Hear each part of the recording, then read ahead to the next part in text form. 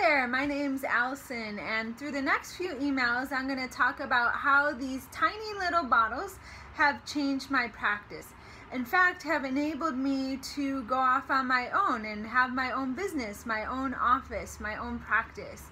Um, and get me out of working the PT mill where I'm treating two, three, five patients at the same time and you know, using ice packs and billing and all that kind of stuff. So I am totally out of that grind. Um, in fact, I see cash only. I see patients on the 90 minutes. So that's right, I only schedule one patient every 90 minutes.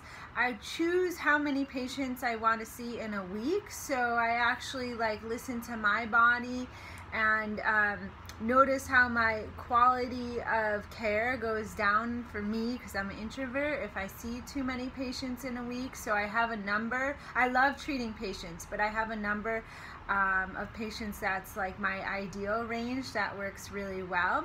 So um, through this email chain, more specifically, you're going to learn how um, these little oils can enhance your treatment session. So um, whether you're doing myofascial release or more uh, corrective exercise base, it doesn't really matter your modalities. Um, the fact is most of you use um, products in your treatment sessions and you just get them on a whim or you know saw them in a training and a large percentage of them have a lot of chemicals.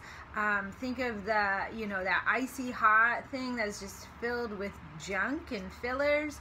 Um, and these little bottles a, lot of them um, have better results and are much much healthier for your patients and then you know you have the option of earning additional revenue on the side like I do um, that enabled me, gave me the confidence to be like, oh, okay, yeah, I don't have any savings, I don't have any startup capital, but I can start my own business. That's my story. So stay tuned to learn more. I'll give you a little tips on how you can start to incorporate the oils in your practice if you want to give it a shot, and some tips on how I um, grow my team without being pressured. None of my patients ever feel that they have to buy oils. Um, in fact, I rarely, rarely uh, enroll people um, in a session. Eh, so I'll tell you how I do that.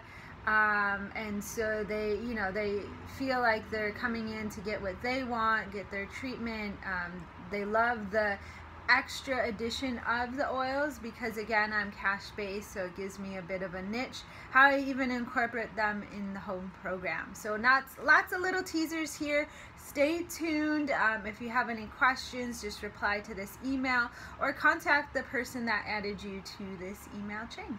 All right. Have a wonderful day. Bye